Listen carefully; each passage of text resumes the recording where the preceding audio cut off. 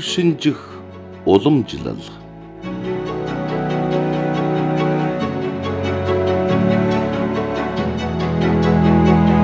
ханга хинтийн улсыг цастаржээ. Зарим газраа өвдөг шагаагаар татагч ойн гүнлүгэ өвөр бүслэхийгээр татна. Айнэргүй энийхэд цасан дайд цаг хугацаа аянда царцсан зогссон мэт санагдана. Харин энэ дүнзгэр байдлыг эвдэн алсаас нохойн хуцах дуу гарах нь шумуулын дуу. Шумуул гэдэг нь үнэндээ лайк үйлдрийн жаахан гүлэг. Эзэдээ даган анхны ангийнхаа мөрийг шинжиж байгаа нэ.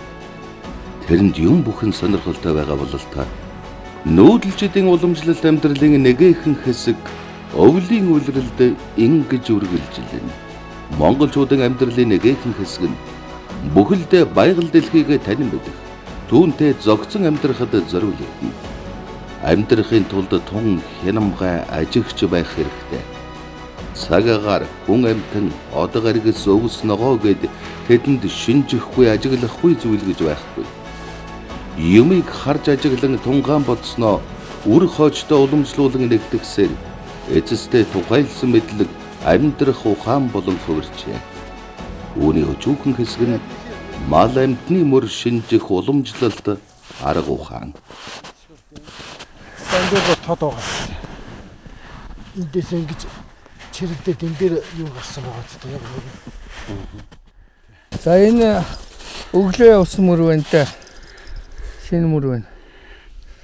Ингээ энэ засныгын энэ аялга энэ юу энэ ширхэг ингээ хараад энэ засан зөв зөвлөх юм байна.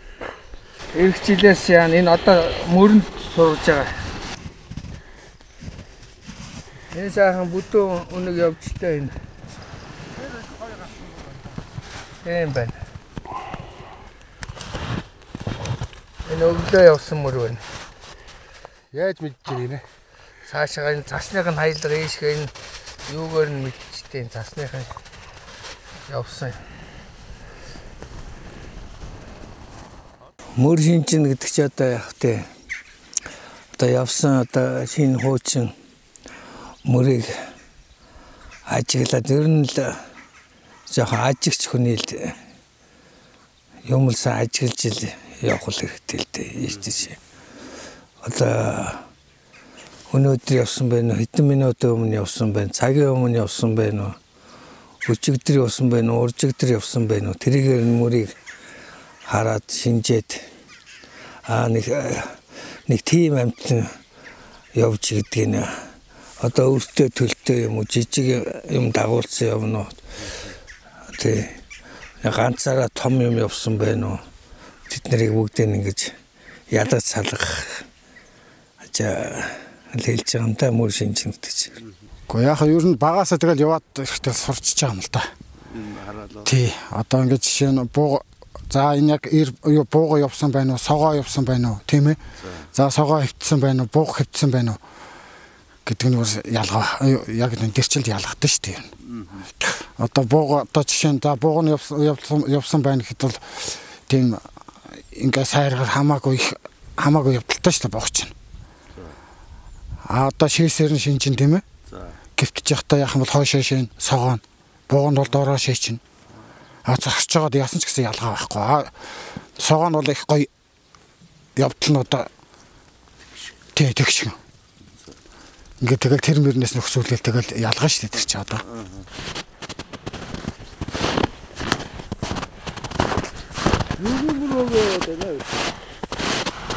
Өнөг бай, туулаа бай. Өнөг нэмэр. Бид тоглоом өмнө явсан шүү. Энэ өглөө явсан мөр байна. Нэг нэг нь бол нэг 2 хоног өмнө явсан. Энтлийнхэн. Энэ өглөөнийх нь. Хараагаа явсан.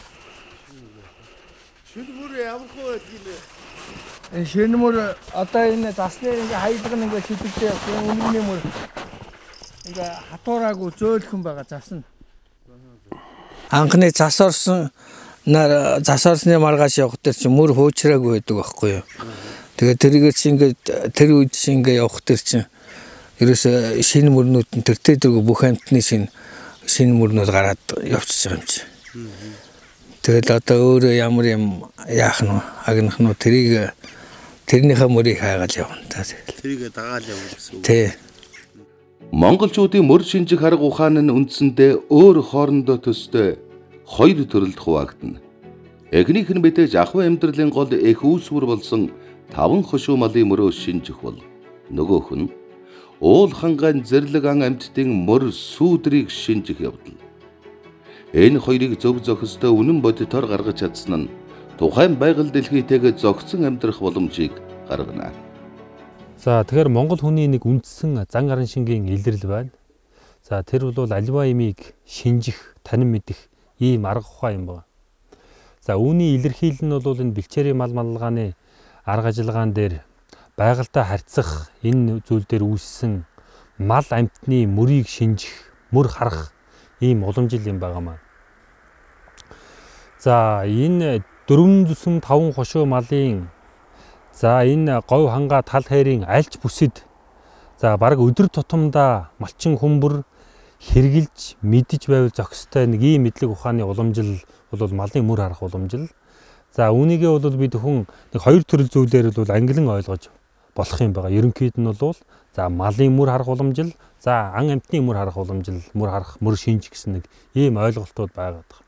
За энэ уламжил бол хизээнээсээ одоо тэмдэглэгдэж, уламжлагдаж, мэдэгдэж байна гэхээс зэрэг за ер нь энэ хадны зургийн дурсгалаас за ингээд мөр тамга байгаа үеэс одоо ингээд ингэж ойлгоод байна л да Монгол хүний сэтгэлгээний нэг илэрхийлч энэ аливаа нэг бүхэл имийг нэгж зүйлээр нь төлөөлүүлэн ойлгож болно гэсэн нэг ийм ойлголт байгаа. А тэр сэтгэлгээний хүрээнд бол эртний нийгмийн үед за энд ийм ан амтан байна шүү гэдгийг л илэрхийлээд нөгөө хадан дээр чинь нөгөө амтныхаа мөрийг төрслээд үлдээсэн байх нь ба штэ. За энэ бол нэлээд өргөн дэлгэр мэдгэж байдгийн мөр тамга гэж ийм ойлголт байж байна. Нүүдэлжид мөрний үзүүрт мал байгаа хэмээн хэлэлцгэн учиртай. Мал амтны тухайлсан өвөр мөц шинж буюу сохор доглон тогтвортой юмнаас идээшилсэн үргсэн зүгтсэн зэргийг харсан мэт илхэлэх нь гайхалтай. Додрын чуулган дээр ичээ орлогоо орчуулгын тэр дээр бол бас байж байгаа юм. Өөрөөр хэлбэл хоёр голын хооронд байгаа малын мөрний хэр их хоорондоо зайтай байна. За эсвэл зайгүй байна уу, шигүү байна уу гэдгээр нь нөгөө малаа бүртгээд байна гэсэн үг шүү дээ. За ингээд энэ уламжил бол бол аман зохиолын төрөл зүй дээр нэлээд бас тусаж үлдсэн байдаг. Тухайлах юм бол одоо малаа хураагаал ирэхэд чинь тэр малчин бичээ явуучих нь шүү дээ. Өглөө нь харахад тэр хотхорыг дүүрсэн мал малын мөр байна уу? За дүүрсэн малын баас байна уу? За түүгээрээ бол одоо малын бүрэн бүтэн байдал гэдэг юм аа бол харж бүртгэж явах жишээтэй. Мөр харахын уламжил бол нэлээд тийм тогтолцоотой өдөр тутмын мал малгааны арга ажиллагаанаас гадна зан үлийн шинжтэй бол болж ирсэн байгаа. Ялангуяа энэ Монгол туурхтны хувьд энэ халимгуудын дунд байсан байна. За Унгарын судлаач Байланд Габор гэдэг хүн халимгаар явж явахдаа нэг юм шахаа авах ёс гэж нэг юм тэмдэглэж авсан байгаа. А тэр нь яаж инхээ зэрэг а тухайн малаа алдсан хүн малынхаа мөрийг хараад мал малын мөр шингэх гэж яриад байгаа юм да. Тэр хот айл руу ороод миний малын мөр шингэсэн байна л гэж үзэж. За нэгээ тэр хот айлынхан гарч ирээд бүгдөө одоо малын мөр мэддэг сайн усууд нь гарч ирээд за энэ чиний малын мөр биш байна энэ манай малын мөрөө гэд өөрөөр тэнд чинь нэг малын мөр харах эрдмийн одоо мэтгэлцээ маягтай болох нь шүү дээ. Тэгээд малын мөр одоо муу таньдаг, муу мэддэг хүн тэр хот айлд байх юм бол баг хилт хэрэгт унах нь байна. За энийг шахаа авах ёс уламжил гэдэг. Тэгэхээр энэ хөө арга ажиллагаанасаа дэвшээд зан үлийн шинжтэй болцсон байна гэсэн үг. Дугайлбал доглон малын шинж нь доглон бага байх юм бол хумсаа чирээд явна. Их байх бол хөлөө чирээд явсан гэх буюу өрөөсөн тал нь цэхэр юм уу сохор мал ямагт хардаг талынхаа өвсийг шүүрдэн иддэг гээд маш наривчлалтайгаар шинжиж чадна. Одоо энэ Өмнөгов аймгийн харцаг багийн лоолон сүхэ мангуу давхт лоолон сүхэ гэдэг хүнээс за ингээд хам богдын дүнжигэр ингээд ер нь энэ тэнд ингээд явж явах тэр нь яг уу малын өмөр ангийн өмөр хардаг маш олон улсууд л байгаа да одоо ингээд энэ Төв аймгийн Мөнгөмөртийн Зоригт Баатар Инквайр энтер гэл улсууд байгаа.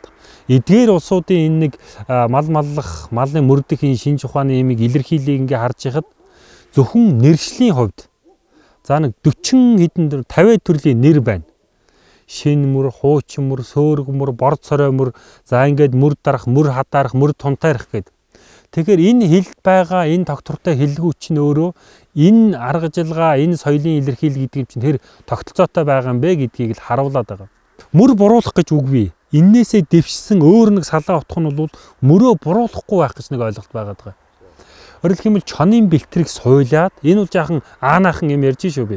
Чонын бэлтрийг суйлаад тэр чинь тэр өөрийнхөө мөрийг одоо ус гатлуулж шингээхгүйгээр хот айл өөрийнхөө хот айл юм уу сарамсаргүйгээр өөр хот айлд буугаад явчихад нөгөө чон гэдэг чи бол айхтар ялангуяа тэр гिचээ чон гэдэг бол өшөөгөө заавал авч идэг ил салдаг ийм амт юм байна. Тэгээд мөрдөж очиод тэр хот айлыг бол нөгөө бэлтрийг нь энэ хот айл шинж гэчлээ энэ хот айлын хүмүүс аваа ивчлал гэж ил үцгэнэ шүү дээ. Тэр хот айлын мал хөрөнгийг бол сүйтгэе хайждаг нэг ийм юм байгаа. Энийг бол одоо санаатай санамсаргүйн хүрээнд ер нь хүн айхтар бодож явах ёстой л ийм зүйл байгаад байна.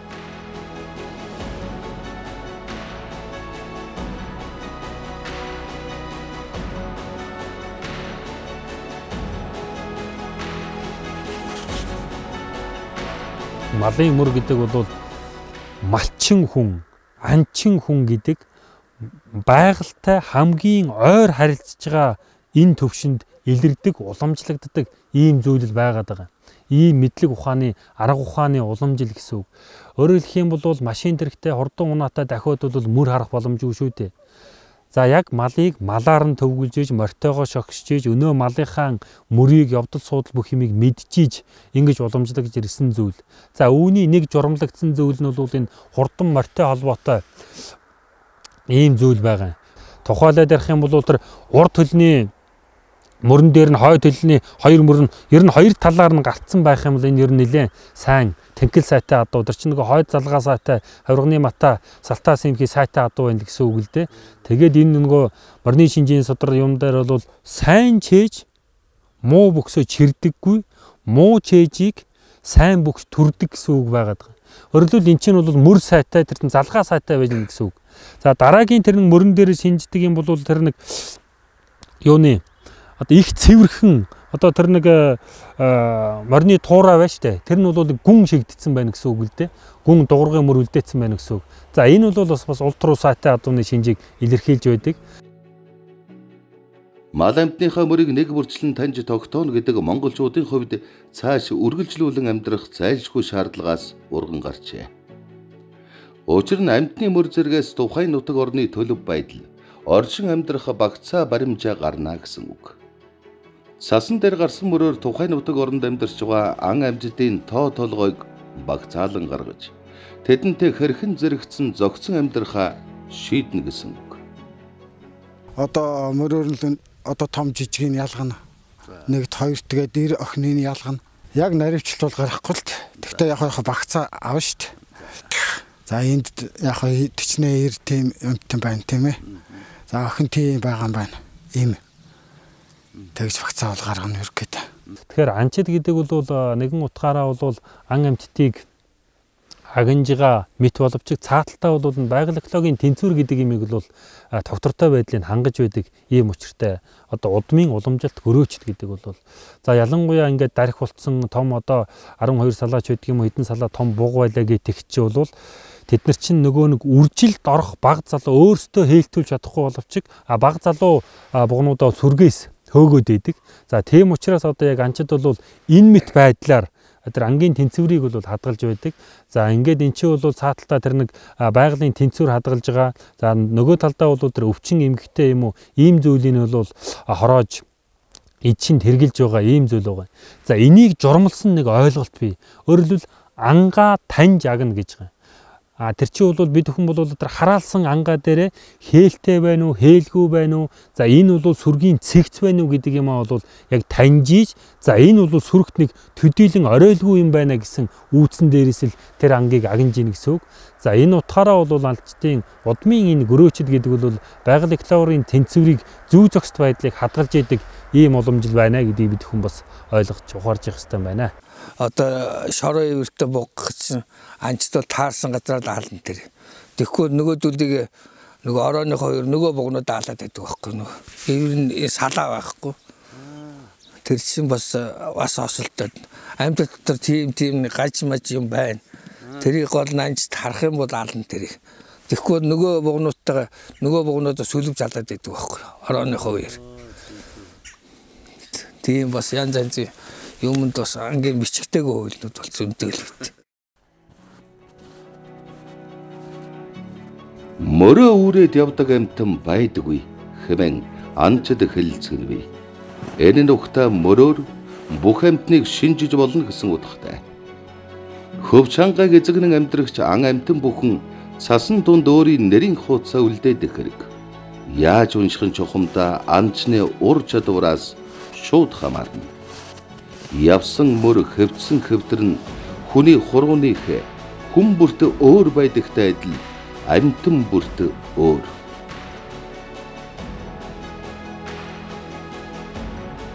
Ер нь хэцүү дээ. Ер нь ам болгон л хэцүү. Тэр нэг хаалагдаад нэг хүнд нэг ингээ ил зогсоод алуулдаг амт гэж ямар амтан байх. Бүх амтан л хэцүү. Гахаа чангтай гахаач ёстой вартаагаар дандаа вартаагаар явдаг амт. Вартаа өрөөл хойноос асахгүй жаалах хэрэгс чигээрэл явчихсан морь явахгүй газар л яваад өгд. Чоны мөр ондолдоо тэгээд яг багтар чон маань за гिचи чон маань азархан чон маань гэдэг мөрнийх нь хэмжээгээр л яг ялгаа. Тэг багцаалтна. Одоо сүргээрээ явсан амттай чон сүргэлж явдаг байлгүй зарим. Тэг сүргэлж л явна л да. Бүлээрээ явна. Бүлээр бүлээр яаж эндээс тэр тэр байна гэж яаж ялах вэ? Гэхдээ яг хөө мөрний багцаагаар л харна. За. Тий. За яг хөө тэр чинь азрын за нэг азрын чон байна тийм ээ. Тий. За тэдэн ир байна гэдэг нь дандаа ирчүүд нь захалс хийж явна, сүулдэж явна. Тий. А кичээ бол дандаа төрөнд явна. Бүлийнхаа төрөнд кичээ нь бол толгой кичээ гэж явна. Аа за. Тий.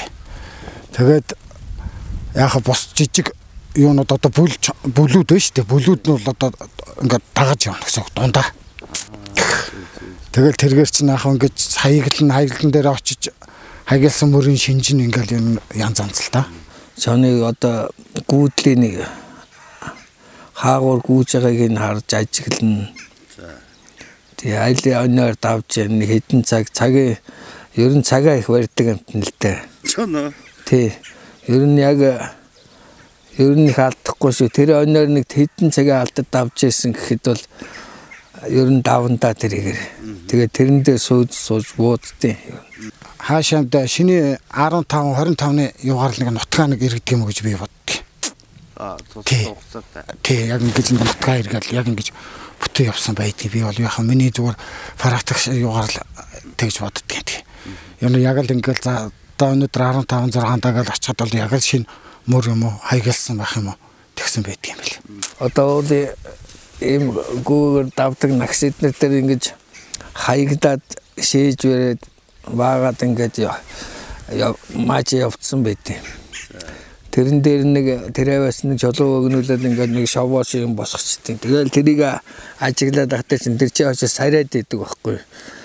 Тэгэхээр намар оройхоо очиж тэнд ч ухчтیں۔ Тэр хаягны хажууд ухаад хавх зүйхөр ухчаад тэнцэнэ улаан шаргалд нүрийг ингээд битүүлээд тавьчих. Өвөлд яг цас орохын өмнө цаста маргаас цасцаг дурд өдөн очиод тэр ухцсан бэлдсэн юм дээр аш авахаа зүгэл улаан шаргал нөр болоо тавьчихдаг байхгүй. Тэгэл нэг эргэж яхад нэг мөтөд хөлөндөө зүүцсэн л. Ангийн мөр шинчгэн ухта тухайн анчин өвөлдөө энэ нутаг бэлчээрээс ямар ан амьтныг агнахав хэдий тоо хэмжээгээр агнахав гэдэг ерөнхий зургалыг гаргаж өгнө гэсэн үг. Тухайн агнах ангаа товлоод түүний мөрийг хөөж агнана гэдэг нь бас л ухаан. Отож, гэтэж, буу сум хавх урихаар агнахыг анчин мөрөө шинжин байж тогтооно. Ахаагч голцооны бодонгийн буудж байгаа. Одоо энэ том том бодонгийн буудахгүй болох төр чин гахаач үржлэн үржлээ хаагаад байдیں۔ Ер нь бүх амт ер нь жоохон гүйцсэн жоохон аригилдуугаас нь жоохон өгшөө хөөгөр нөгөө залуурнуудаа айлгаад нөгөө үржлэн нийлдэг сэлэгч өгөхгүй байхгүй. Жоохон юунаас нь бууж захын дээр үед юм та жоох хөгшин өөгөөс нь. Авч явал ятгата нөгөө юу сэлэгс нөгөө чинь өөрөө мордож чадахгүй мөртлөө юугаа хураачаад нөгөөдөлийг айлгаад идэв байхгүй. Багчуул айлгаад ойртуулдгөө. Мөрөө нудаг амтан гэж өрөндөө байхгүй тий байхгүй. Тий. Яаж явах вэ тэр чинь заавал гарч байгаа юм мөр. Мөр яадаг ч гэсэн. Тий. Хөө зүгээр мөрөө эргэж яаж хэвтэж шаргацсан амтан амтан бол хөө мөрөө боруулаад эргээд мөрөн дээр хэвтдэг юм.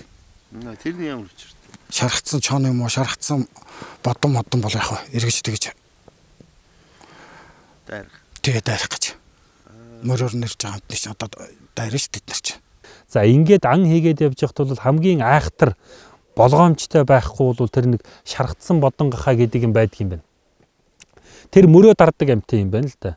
Одоо ингээд ер нь бол гахаа чинь ингээд явахчвал яг араас нь шаргацсан бодон ингээд мөрдөөд яг араас нь мөрдөөд явах юм бол хөндлөнгөөс нь дайрж орж иж хадарддаг юм байна л да тэр чинь. За ингээд тэр бодон гэдэг юм чи бол одоо яг өдөө нэг хожуулан дээр гарчаад бодонгоос аврагчдгийн гинлээ гэдэг анчид ярьдаг. Ингээд өлийж хадарч чаддггүй яг л өөрийнхөө төрх хөрөх төвшөнд байгаа л тийм юмыг л хоёр уугаал ажихал юм байна л да. Тэр гахаач болохоор зэрэг яадаг юм бэ? Мөрөө ингээд дугуйруу чивтээд яг мөрдөж байгаа хүний хөндлөнгөөс нь хараад ивчт юм байна. За ингээд яг өөрийнх нь мөр дээр ингээд хөндлөнгөөс гараад ирэхтэл тэрийг яаж аавна гэсэн үг шүү дээ. Хөндлөнгөөс нь дайраад хайчих нь. Хөдрөө өдөр бол өрөвдөлтөө шүү дээ. Босголоо нэг За 1 км 2 км яваад эргэл яг нөгөө газараа л ирнэ. А тойрол. Тий. Ерөөсө тойрол эргэл юм дээр ирнэ. Гахаан хаа бол ерөнхийдөө одоо нэг зөөр нэг чимээгүй шиг болж байгаад нэгийг бодсон бахад эргэл тэндэл ирнэ. Тэгээ цаашаа олнох яваад тахгүй. Тэр цаашаа ингэж тавж 2 3 уул тавж тавих гэж яаддаг бол яг хөө тэр чинь нохоогоор нэг төвчж байгаа. 2 2 3 уул авч чимээ их өгч 2 3 зэрэг бодож барьчин. Тэгтэр тэгж зүг чиггүй гэж байгаа байхгүй. Тэгээд тэд яг ингээ гүйж явж яхад нь буудаж өрж тэгтэр тэгж байгаа байхгүй. Яг гэвтэр дээр сайхан нутаг дээр явахад нь зөвөр нэг ганц нэг бодохт бол нэг тэнд бол нэг яагаад байхгүй дээ. Нэг ганц уул давлаа хэрэгэл тэндээ маргааш оройн нэгт бол тэндээ ирнэ. Одоо л яг хүмүүс нэг хурдан техникээр хөөгөө тийм ээ. Том том буугаар зэрэг зэрэг бодоод тэгтэр чи нөгөө төл том жижиг гэд тарц сарнаа тэгээд яагаад байгаа байхгүй. Анц ерөөсө хүүтрээд 10 сарын бүх амтны өсгүүцэл тарга төгөөрг аваад нэг 10 сар 11 сар 12 сар гэл ер нь 3 сар л хийдэг штэ анг. Ус мус нь бүх юм гүйцсэн л хийж байгаа. Одоо тэгээ энэ хамаагүй энэ таарсан юм буудаад ахц бас нэг сонирн биш. Ус мус нь гүйцээгөө тарга төгөөрг туранхаа тийм тэнд буудсан харагдах юм л явж байгаа. Мөр мөсгөж анх хийхэд анчин хүний баруун зүүн гар нь анч нохой морь болдог. Анч нохойг олж шинжин түүнийг мөр мөсгүүлж анх хийлгэж сурах нь анчин хүний ухаан юм. Төөний урд гөлгөн нохойны зүрх зөргийг өхүүлэхгүй байлгахын тулд ихээхэн анхаарна. Миний нохонууд яг вэ юу яат хандл явдаг нохонууд. Тэг яв гэсэн мөрөн дээр л явдیں۔ Ондоо мөрөн дээр явахгүй. Яагаад? Миний хэлсэн мөрөн дээр л явна.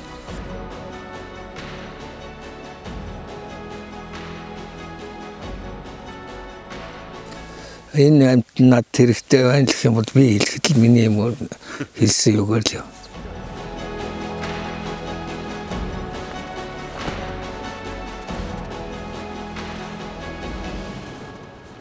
Тэрүүл яг багаасан сургана дагуулж яваал. Тийм ээ. Толгойн хоонодтой байх хэрэгтэй. Толгойн хоонод одоо төрүүлж амд явдаг байсан хоонодоо дагуулж явна шүү дээ тэр чинь. Тэгжээ сурган түүнээс юу ч мэдэхгүй нохоо нэг авч явал амд сурчихна гэж байхгүй л те. Аа зөв. Тий. Заавал нөгөө толгойн хоонодтой авчин тэд нар чинь бас нөгөөдүүлж яаж ч төрүүлж өгөх юм бол хинхэн нөгөөдүүлээ тэгжээ сургана гэсэн үг байхгүй. Хон хоогоор нь сургаж иж тий үндсэндээ анд явж байгаа. Тэгжээж өөртөө яг хилээ заана. Тий хөтөлж явна бас хөтөлж явж сургана. За. Тэг хөтөлж явж байгаа. За яг ан ойртлоо гэхэнгүүт 50 штэ. Бараа хартлаа ойртлоо за тэг ойрцсон шинж мэддэгдэн штэ мөрн шин болоод ирэх ч юм уу. Тэнгүүт нь 50-аад за мөр гэд тэгж оруулна мөрөөр нь оруулна. Тэгж сургана. Аа тарга юунд бол зүгээр өөрөө зөнгөөрөө сурцсан л. Гол нь тэр чинь команд сургана гэсэн үг нөхөнд.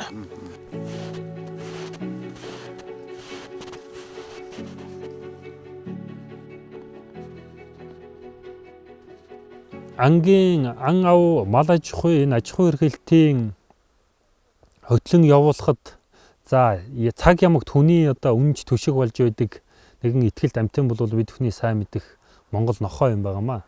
За нохойг бол анханаас нь гөлгөн цагаас нь ахлуулаад за энийг хотож болох юм уу энийг анд сургах юм уу гэдгээ бол анханаас нь дадуулан сургаж байдаг. Тухайлах юм бол хотос нохой байлаа гэдэг донголзууртай газар уйд сургаа гэж байгаа. Өөрөөр хэлэх юм бол тэр чинь нэг халуун хэвтэр дээр нэм үү хонхор газард нь уяад байх юм бол тэр чинь бол их нойртой л болчихдг юм байна л да. Донголзууртай газар гэдэг нь жаахан сэрмүндүү тэгшинд тэгш довгордуу газар тэр чинь бол амраахгүй байлгаж иж тэр чинь сэргэг болд юм байна. За дараад нь бол энэ ангийн нохой гэдэг чинь. За энийг бол баг цагаас нь ялангуяа гөлгөн цагаас нь бас л нөгөө нэг зориг зөрхийн нөхүүлчихгүй шиг за ингээд том нохоогоо дагуулж иж сургаж байдаг. За ингээд зориг зөрхийн хүүлнэ гэдэг юу яриад юм гэхээс ганцаарнгийн нөхлүүлээд ер нь гөлгөн нохой ганцаарнгийн таргуун тавьсан чиглэл таргунд нэг алгадуулчих юм бол тэр тэгээ цаашдаа бол тарг руу орч чадхаа байчихна гэсэн үг. Тэр чинь бүдүүн таргуул бол муу нохойг бол одоо сунжунтал алгадчихна. Тэгэхээр энэ мэт байдлаар ямар ч анд тэр зүрхийн нөхүүлчихгүй зоригтой бөөнөр нь байлгаж иж анд сургадаг. Ялангуяа нэг үүрний гүлэг гэж ярьдаг. За эдгээр бол би эндээ тийм одоо эрч юу гэх юм уу одоо зориг зүрхтэй байдаг учраас нэг үүрний 4 5 гөлөг мүлгийг бол эхлээр нь хөвгөрөн дээр сургаж ингэж бороол сургадаг анганд бол за ийм улам гих мэтийн олон уламжлалыг бол ярих боломжтой байдаг юм а. Байгалийн намтан ер нь хамгаалж энэ үржил сэлээгчийн харж анчтай ер нь гол үүрэгч ер нь жоохон энэ тэнд тийм хөгшин хөвгөөс нь яаж агнж ер нь дээр үесээ тэгж ирсэн чи. Тий. Нутаг орондоо ан амтнаг бол нэг хөндөд хэрэггүй те. Аль бол хөсгөл өржүүлж хайрлж харахад гоё байхгүй. Одоо чи нутаг гоё байна. Тэр чинь. Баян ханган хишиг үедээ хүртэн гэдэг өөрийн гэсэн хуйлтай. Харсан олдсон бүхнээ хурдан буу машинаар хөөнө гэдэг хэрцгий аллагаас өөр юу байх вүлээ? Харин Эрдэнэс нааш уламжлан ирсэн Монгол анчны бичигдээгүй хууль 20 цааз гэж байна. Энэ хэм хэмжээг мөрдлөг болгон явсны хүчинд өөрөө бид уул хөвчих хээр талдаа ан амьтантайгаа байгаа билээ. Монголчуудын мал амьтны мөр харах шинжих уламжлал нь бэлчээрийн мал аж ахуй ан авын соёл бол өв сан дээр бүрэлдэн тогтсон мэдлэг бөгөөд балар эртнээс өнөө хүртэл бүрэлдэн тогтсон цогц ухаан билээ. Үүнийг авч үлдэж өвлүүлэн үлдээх нь та бидний ухаан билээ.